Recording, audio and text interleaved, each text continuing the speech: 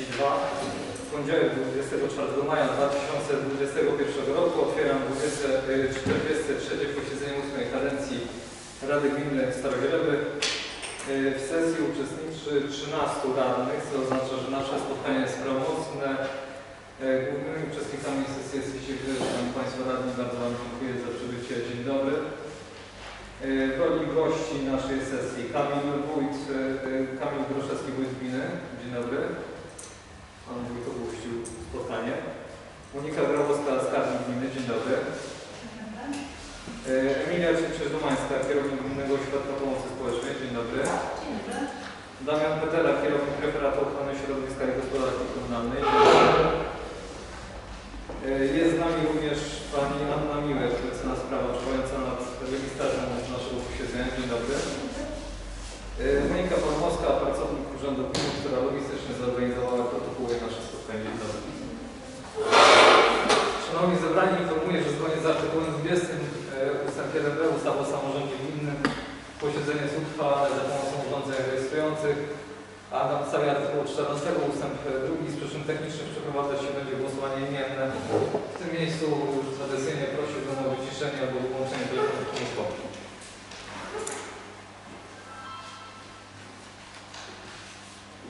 Szanowni Państwo, e, dostaliście e, materiały wraz z porządkiem obrad. Czy są jakieś uwagi do porządku obrad?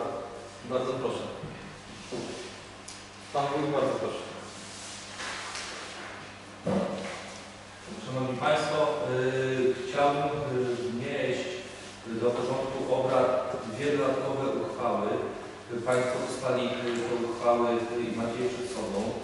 Pierwsza to będzie w sprawie przyjęcia regulaminu dostarczania wody i odprowadzania ścieków na terenie gminy Staroźreby, a druga uchwała, znaczy ta pierwsza miałaby numer 245, a druga, jeśli Państwo zgodzą, uchwała 246 w sprawie wyrażenia zgody na zawarcie porozumienia pomiędzy gminą Staroźreby a Wojewódzkim Funduszem Ochrony Środowiska i Gospodarki Wodnej w Warszawie w przedmiocie realizacji programu Czyste Powietrze. Dziękuję bardzo. Bardzo dziękuję Szanowni Państwo Radni. Czy jakieś uwagi jeszcze macie ze swojej strony? Nie widzę. Yy, Przechodzimy do głosowania nad zmienionym, yy, nad propozycją zmiany porządkowe. Dąbrowski Grzegorz. Jestem za. Domańska Agnieszka. Za. Dwojewski Krzysztof. Jestem za. Jarcy Jacek. Jędrzejewski Stanisław. Karpiński Tomasz. Kaźmierska Krystyna. Za. Finanski Łukasz. Za. Kowala Krzysztof. Jestem za. Mosakowski Sławomir. Jestem za. Pawłowski Zbigniew. Jestem za. Piasecka Ewa. Jestem za. Pikalski Grzegorz. Jestem za. Sieglik Daniel. Za. Sowiesiak Krzysztof. Jestem za. 13 za. Dziękuję jednogłośnie. E, Porządek obrad został rozszerzony o dwie dodatkowe uchwały, bo one miały numery odpowiednio 245 i 246. Dziękuję. Przechodzimy do punktu trzeciego. Przyjęcie protokołu z 42 sesji e, Rady Gminy. Czy ktoś z Państwa radnych ma uwagi do protokołu? Nie widzę. Przechodzimy do głosowania. Dąbrowski Grzegorz. Jestem za. Domańska Agnieszka. Jestem za. Dwojewski Krzysztof. Jestem za. Jarcy Jacek. Jędrzejewski Stanisław. Karpiński Tomasz. Kaźmierska Krystyna. Za. Inalski Łukasz. Za. Kowala Krzysztof. Jestem za. Mosakowski Sławomir. Za. Łabowski Zbigniew. Jestem za. Piasecka Ewa. Jestem za. Pikalski Grzegorz. Za. Siedlik Daniel. Za. Sowiesiek Krzysztof. Jestem za. 13 za. Dziękuję. Jesteśmy przy punkcie czwartym. Interpelacje, y, zapytania, wnioski i oświadczenia radnych. Zachęcam do korzystania z nadanych nam uprawnień. Czy ktoś z Państwa chciałby złożyć interpelację, zapytanie albo wygłosić oświadczenie? Wniosek formalny, retoryczny, bardzo proszę. Pani Agnieszka Domańska, bardzo proszę. Tylko ja bym chciała zabrać głos na koniec pewnie yy, we wnioskach formalnych. W sprawie informacji jaka się pojawiła, że mają być skończone klasy czwarte w przyszłym roku. E, To e, Pani Radna, e, interpelacja, zapytania to na piśmie, wnioski, oświadczenia radnych, to myślę, że ta kwestia będzie regulowana bardziej przez punkt e, sprawy dużej. Dobrze? Czy ktoś jeszcze? Państwo, będę miał do złożenia interpelację, ona dzisiaj zostanie zarejestrowana. Interpelacja będzie dotyczyła tak naprawdę y, śmieci, y, ale nie śmieci w sensie odbioru przez gminę, bo to jest jakby uregulowane. Natomiast coraz częściej będą sami jesteście świadkami, przechadzając się po lesie, czy też jadąc rowerem drogą przy rowach, po prostu jest jakaś patologia. Inaczej tego nie można nazwać jak głupotą ludzką. E, Mam jakieś propozycje na e, jakieś przemyślenia w związku z tym. Chcielibyśmy, e, mówię za siebie, przepraszam, chciałbym, żebyśmy mogli spotkać się w takim gronie, jak tutaj jesteśmy, plus rozszerzenie o sołtysów, którzy mają najlepsze dane z terenu, aby można ustalić taką, nazwijmy to, mapę zagrożeń. Mapę zagrożeń, to znaczy wytypować miejsca, w których te odpady są nielegalnie składowane i żeby coś z tym zrobić, jakieś rozwiązanie znaleźć, czy zakup fotopułapek, czy innych rzeczy. Po prostu ta interpelacja będzie składana i ja ją dzisiaj zostawię do rejestracji, będzie umieszczona na pisie. I Jesteśmy w punkcie piątym, sprawozdanie działalności Rady w okresie między sesjami. E, Ten okres międzysesyjny był troszkę dłuższy. E, Poproszę Pana Przewodniczącego Daniela Siedlicha o zreferowanie.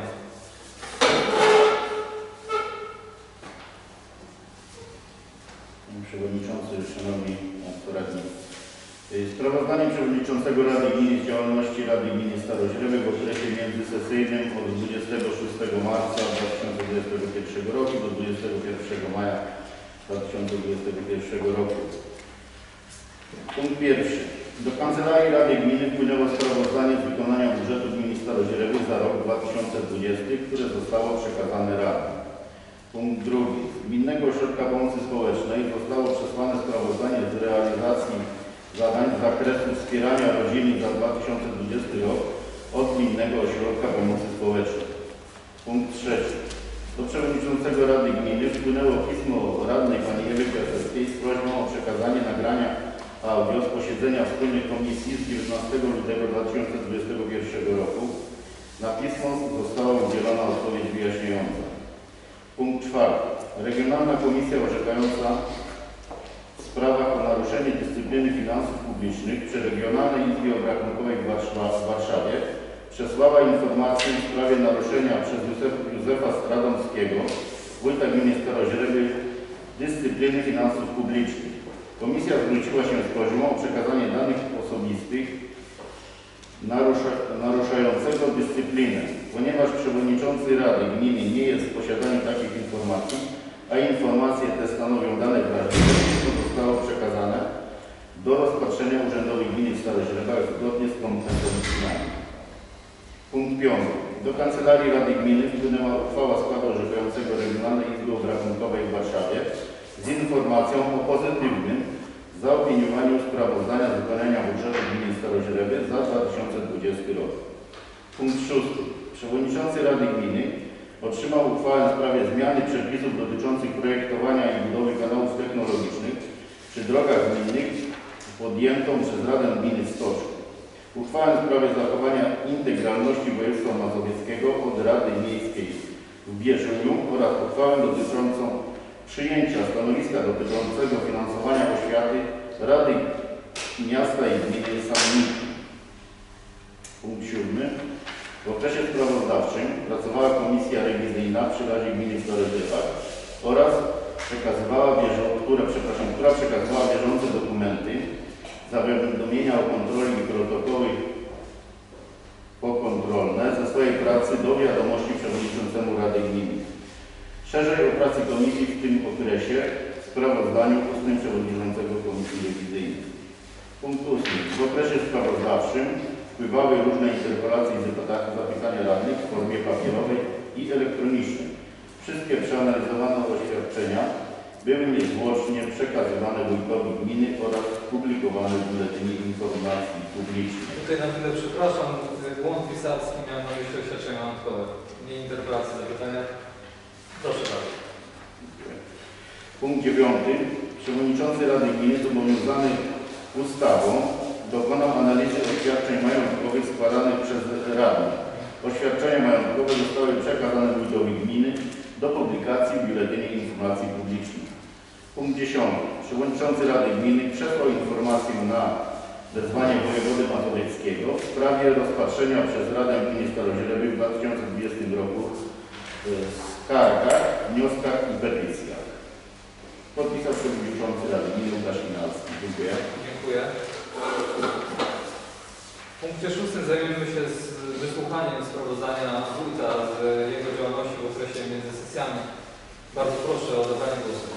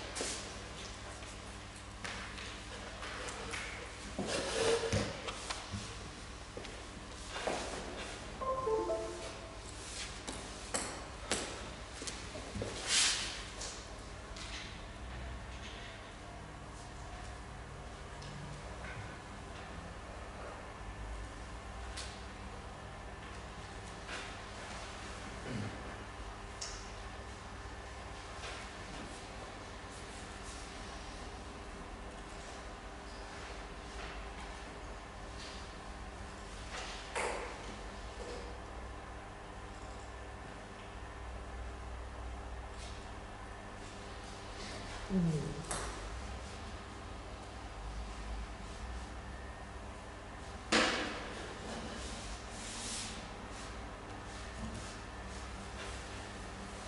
Państwo, y, sprawozdanie z działalności międzysesyjnej Gminy Staroźrewy w okresie od 29 marca do dnia dzisiejszego. Wydane zostało 25 zarządzeń, które dostępne są w Biuletynie Informacji Publicznej w tym całym okresie. I tak, y, w 30 marca ukazał się pierwszy numer naszej gminnej gazetki samorządowej. Y, Jest to kwartalnik samorządowy, który będzie się już, miejmy nadzieję, ukazywał systematycznie.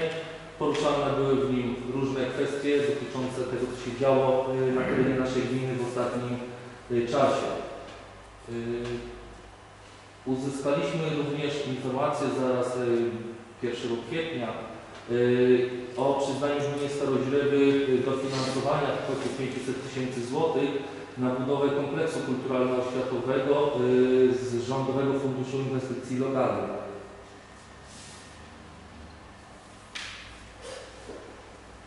Kolejną taką informacją ważną, którą należy wspomnieć, była budowa drogi, jest, którą otrzymaliśmy informację.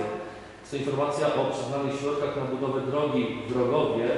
Y, Otrzymane środki, y, które gmina może maksymalnie pozyskać, to kwota 1 392 650 zł 50 groszy.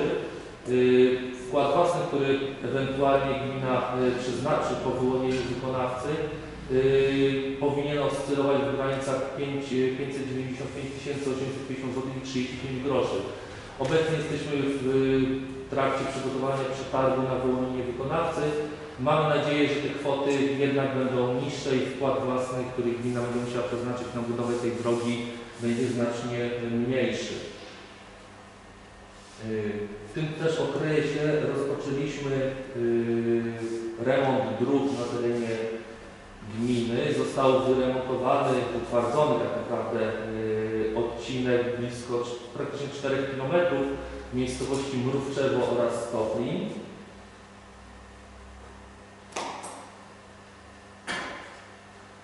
Również w tym okresie miałem zaszczyt i przyjemność wręczyć y, medale za długoletnie pożycie małżeńskie, które przyznawał pan prezydent Andrzej Duda. Y, Aby otrzymać taki medal, y, pary, które mogły uzyskać pary, które przeżyły wspólnie przynajmniej 50 lat.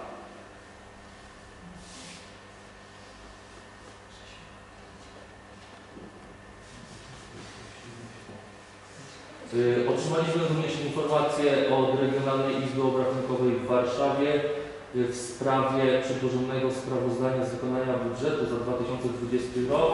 Tutaj y, opinia jest pozytywna, bez żadnych uwag. Y, Na początku maja y, przygotowaliśmy y, dla mieszkańców gminy Staroźreby koncert pieśni patriotycznych w wykonaniu Gminnej Orkiestry Dętej w Staroźrebach. Koncert można było obejrzeć za pośrednictwem, za pośrednictwem y, mediów społecznościowych. Y, 3 maja wspólnie z radnymi złożyliśmy kwiaty pod pomnikami upamiętniającymi bohaterów walk o obronę naszej ojczyzny. W dniu 17 maja, czyli całkiem niedawno, utwardziliśmy kolejne dwa odcinki drogi w miejscowości Strzeszego o łącznej długości y, blisko kilometra. Poprawiliśmy również 100-metrowy 100 metrowy odcinek najgorszy, newralgiczny w miejscowości Marynów. Zakończył się również y, remont pomieszczeń w Urzędzie Gminy y, w Staroźrebach. Y, Koszt, który przeznaczyliśmy na remont trzech pomieszczeń wyniósł 68 tysięcy złotych. Y, To był remont generalny. Y, Wymieniliśmy praktycznie całe instalacje, które były. Wygłuszyliśmy ściany, wylaliśmy posadzki, więc tej pracy troszeczkę tutaj było.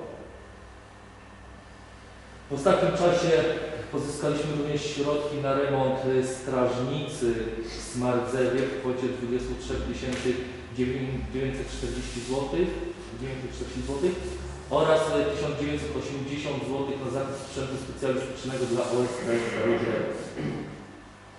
Y, Ogłosiliśmy również przetarg na zakup i dostawę y, nowej partii kruszywa. Y, W tym momencie y, ubiegamy się o zakup 7100 ton y, tego kruszywa. Koszt y, będzie oscylował powyżej 400 tysięcy złotych. Dzisiaj Państwo będziecie mogli, y, że tak powiem, w- uchwale budżetowej do tego tematu się odnieść. Przystąpiliśmy również do ogłoszenia zapytania ofertowego w sprawie strategii rozwoju gminy Staroźreby. Y, Najkorzystniejszą ofertę złożyła firma Centrum Funduszy US Torunia y, na kwotę 9225 zł.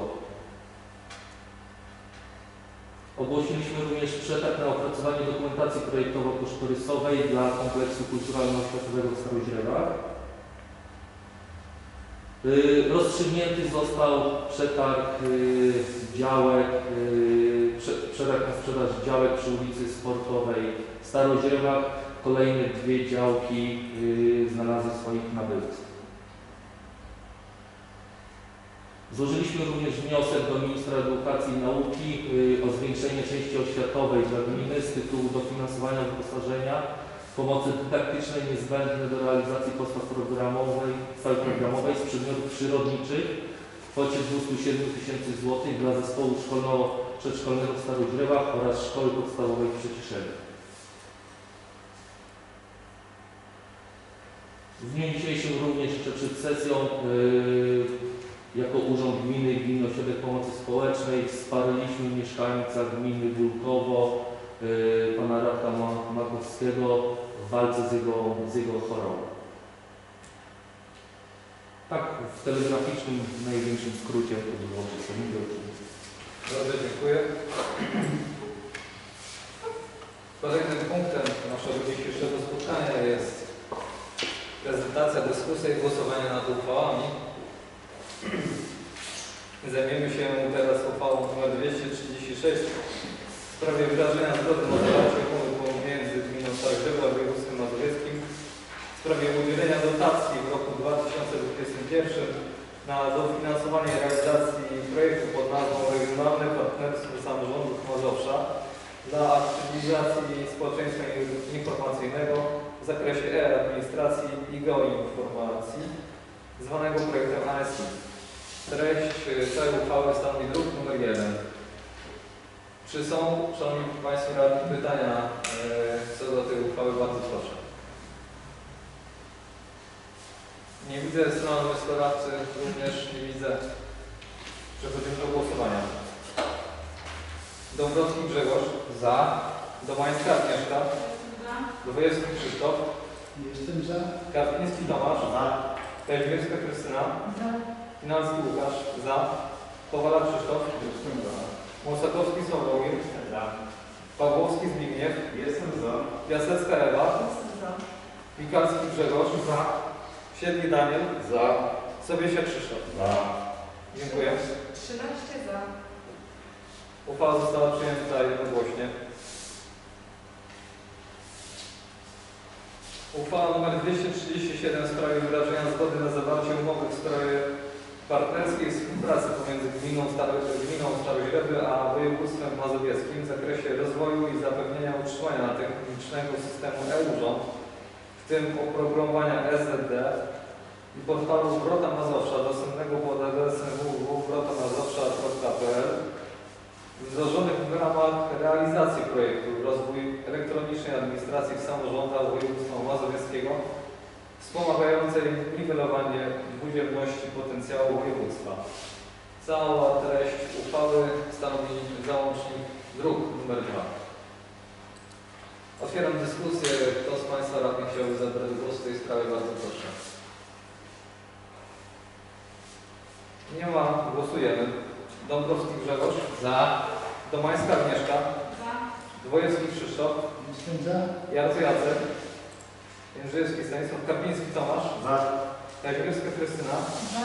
Finalski Łukasz. Za. Kowala Krzysztof. Jestem za. Mosakowski Sławomir. Pawłowski Zbigniew. Jestem za. Ewa. Jestem za. Pikalski Grzegorz. Za. Siedli Daniel. Za. Sobiesia Krzysztof. Za. 13 za. Dziękuję. Uchwała została przyjęta jednogłośnie. W druku numer 3 mamy uchwałę w sprawie numer 238 w sprawie zmiany wieloletniej prognozy finansowej gminy Staroźreby. Otwieram dyskusję. Kto z Państwa radnych chciałby zabrać głos? Bardzo proszę. Strona wnioskodawców. Może być pytanie. Dziękuję. Głosujemy. Dąbrowski Grzegorz. Jestem za. Domańska Agnieszka.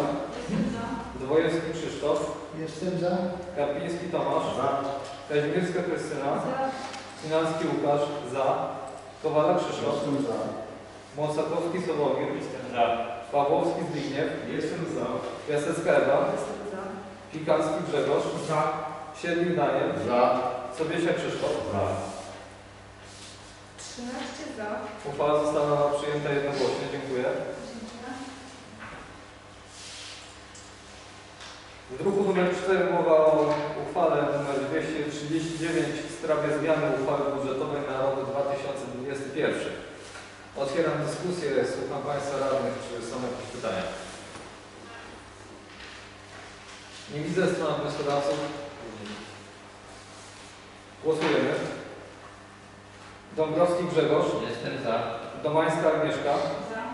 Dwojewski Krzysztof. Jestem za. Karpiński Tomasz. Kazimierska Krystyna. Za. Finalski Łukasz. Za. Kowala Krzysztof. Jestem za. Mosakowski Sławomir. Za. Pawłowski Zbigniew. Jestem za. Piasecka Ewa. Za. Pikalski Grzegorz. Za. Siedlik Daniel. Za. Sobiesia Krzysztof. Za. 13 za. Dziękuję. Uchwała została przyjęta jednogłośnie. Dziękuję. Uchwała nr 240 w sprawie przyjęcia programu ochrony środowiska dla gminy Staroźreby na lata 2021-2024 z perspektywą na lata 2025-2028. Całość e, uchwały stanowi druk nr 5. Otwieram dyskusję. Czy ktoś z Państwa radnych chciałby zabrać głos w tej sprawie? Nie widzę. Ja miałbym pytanko, bo mamy tutaj Pana Damiana. Panie Damianie, gdyby Pan dwa słowa o programie ochrony środowiska. Króciutko, dokument obszerny, to prawda, ale najważniejsze jego założenia, albo w Pana ocenie, co jest najistotniejsze w tym dokumencie. Program ochrony środowiska musimy sporządzić, sporządzać raz na 4 lata. On musi być tożsamy, czy musi uzupełniać się wraz z programami e, na wyższych szczeblach, czyli programem ochrony środowiska dla powiatu, dla województwa, także, także dla, dla całej Unii Europejskiej. Tak?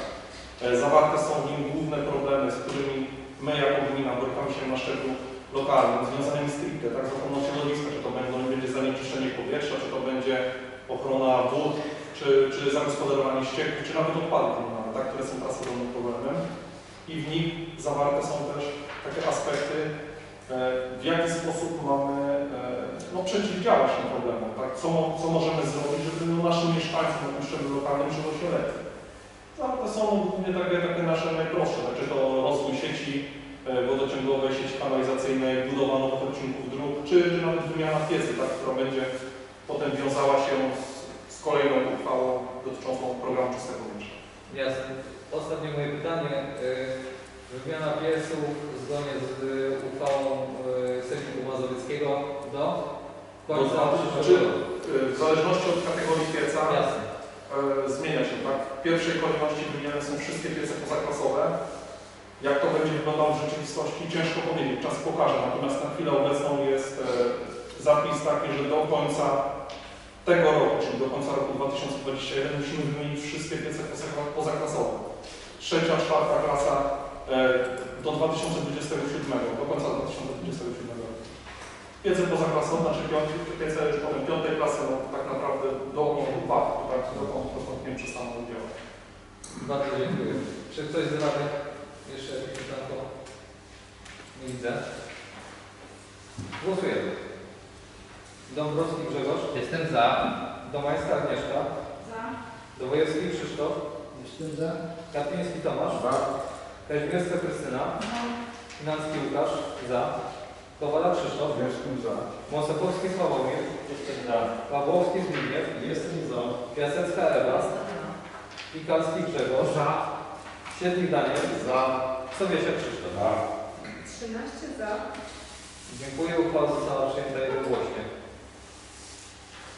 Zajmujemy się teraz uchwałą nr 241 w sprawie przyjęcia oceny zasobów pomocy społecznej za rok 2020 dla gminy Starowiewy. Druk nr 6. Otwieram dyskusję. Czy ktoś z Państwa radnych chciałby zabrać głos? Pani Ewa Piasecka, bardzo proszę Pani Radna. Ja mam takie pytanie nie co do treści uchwały, e, tylko e, nawet jest to w uzasadnieniu, że mm, 16a ustawy o pomocy społecznej mówi, że e, ocenę zasobów pomocy społecznej e,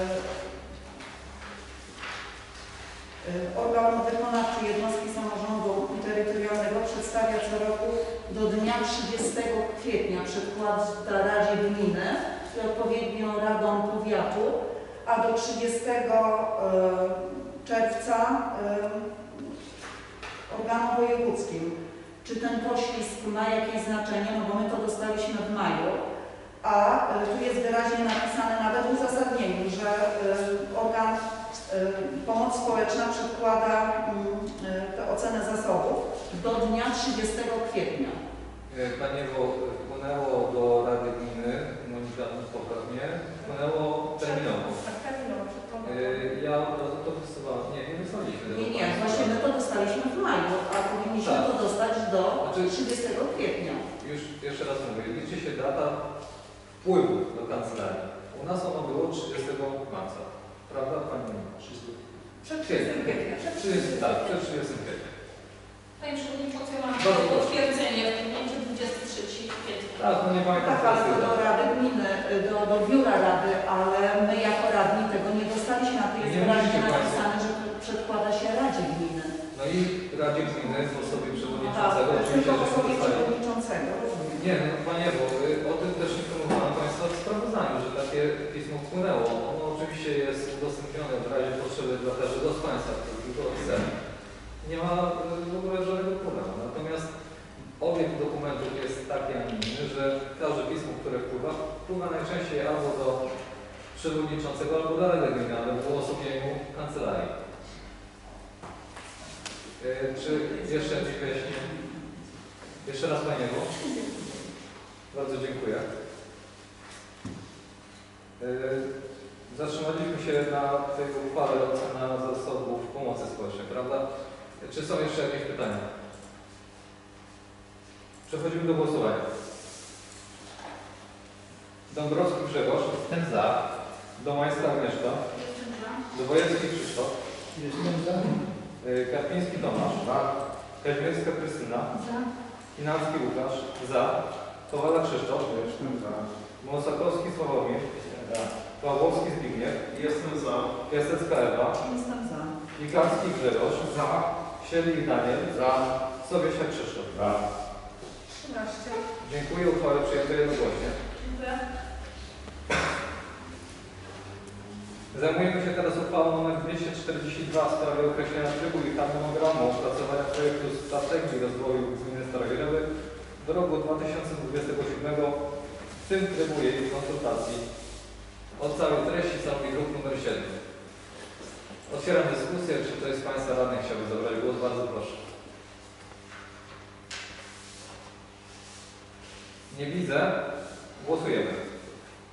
Dąbrowski Grzegorz. Jestem za. Domańska Agnieszka. Jestem za. Dwojewski Krzysztof. Jestem za. Karpiński Tomasz. Kazimierska Krystyna. Za. Finalski Łukasz. Jestem za. Kowala Krzysztof. Jestem za. Mosakowski Sławomir. Jestem za. Pawłowski Zbigniew. Jestem za. Piasecka Ewa. Jestem za. Pikarski Grzegorz. Jestem za. Siedlik Daniel. Za. Sobiesiak Krzysztof. Za. 13 za. Dziękuję Państwu. Uchwała została przyjęta jednogłośnie. Przechodzimy do uchwały nr 243 w sprawie petycji dotyczącej poparcia rządu tymczasowej Rady Stanu Narodu Polskiego Społecznego Komitetu Konstytucyjnego. Druk całej tej uchwały stanowi załącznik nr 8. Czy są jakieś pytania, Szanowni Państwo, co do tej petycji? Komisja Skarb Wniosków i Petycji pracowała. Nie widzę. Przechodzimy do głosowania. Dąbrowski Grzegorz. Jestem za. Domańska Agnieszka. Za. Dwojewski Krzysztof. Jestem za. Karpiński Tomasz. Kazimierska Krystyna. Za. Finalski Łukasz. Za. Kowala Krzysztof. Jestem za. Mosakowski Sławomir. Jestem za. Pawłowski Zbigniew. Jestem za. Piasecka Ewa. Pikarski Grzegorz. Jestem za. Siedlik Daniel. Za. Sobiesiak Krzysztof. 13 za. Uchwała została przyjęta jednogłośnie. Dziękuję Państwu radnym. Jesteśmy przy uchwale nr 244 w sprawie przyjęcia protokołu Komisji Rewizyjnej z kontroli realizacji uchwał Rady e, Gminy i Zarządzeń Wójta Gminy Starożyły w roku 2020, druk nr 9. Komisja rewizyjna również e, bardzo intensywnie pracowała, z jej pracy jestem bardzo zadowolony. Bardzo Państwu dziękuję całemu zespołowi. E, Czy są pytania do tej uchwały? Nie widzę. Głosujemy. Dąbrowski Grzegorz. Jestem za. Domańska Agnieszka. Jestem za. Dwojewski Krzysztof. Jestem za. Karpiński Tomasz. Za. Kazimierska Krystyna. Za. Finalski Łukasz. Za. Kowala Krzysztof. Jestem za. Mosakowski Sławomir. Pawłowski Zbigniew. Jestem za. Piasecka Ewa. Jestem za. Pikarski Grzegorz. Jestem za. Siedlik Daniel. Za. Sobiesiak Krzysztof. Za. 13 za. Dziękuję. Uchwała została przyjęta jednogłośnie. Szanowni radni, radni uchwała, która e, e, wpłynęła do nas i została dzisiaj wpisana do porządku obrad, to jest uchwała nr 245 Rady Gminy Starogrowy z dnia 24 maja 2021 roku w sprawie przyjęcia regulaminu dostarczenia wody i odprowadzenia ścieków na terenie gminy Starogrowy. Szanowni Państwo, z tego co wiem, to ta uchwała była e, Państwu radnym dostarczona wcześniej w ramach uzupełnienia pod koniec tamtego tygodnia. E, prosiłbym o e, może inaczej. Czy ktoś z Państwa radnych potrzebuje dodatkowy czas na analizę tych materiałów? Bardzo proszę się zgłosić, jeżeli któryś z radnych potrzebuje czas. Nie widzę. Czy są pytania wynikające z zapisów tej uchwały? Również je odnotowałem. Przyjmuję zatem, że jest ona Państwu radnym znana. Przechodzimy do głosowania. Dąbrowski Grzegorz. Jestem za. Domańska Agnieszka. Jestem za. Dwojewski Krzysztof. Jestem za. Karpiński Tomasz. Za. Kazimierska Krystyna. Za. Finalski Łukasz. Za. Kowala Krzysztof. Jestem za. Mosowski Sławomir. Pawłowski Zbigniew. Jestem za. Piasecka Ewa. Jestem za. Pikarski Grzegorz. Jestem za. Siedli Daniel. Za. Sobiesiak Krzysztof. Za. 13 za. Dziękuję. Uchwała została przyjęta jednogłośnie. Kolejna uchwała, która została rozszerzona dzisiejszym porządkiem obrad. Uchwała nr 246 Rady Gminy Starowielewy z dnia 24 maja 2021 roku w sprawie wyrażenia zgody na zawarcie porozumienia między Gminą Starowielewy a Wojewódzkim Funduszem Ochrony Środowiska i Gospodarki Wodnej w Warszawie w przedmiocie realizacji programu Czyste Powietrze. Ta uchwała została przesłana Państwu dopiero dzisiaj. Tak? Szanowni Radni, czy zdążyli Państwo zapoznać się z tymi materiałami? W tym momencie czy robimy przerwę, wznawiamy przerwę, e, wznawiamy obrady i dopiero przechodzimy do głosowania. Chciałbym Państwa o to zapytać, czy ktoś na tą propozycję ma zdanie odrębne. Może rzeczywiście krótka przerwa. Dobrze, Szanowni Państwo, zarządzam przerwę, jest godzina 16.07. Spotykamy się o godzinie 16.25.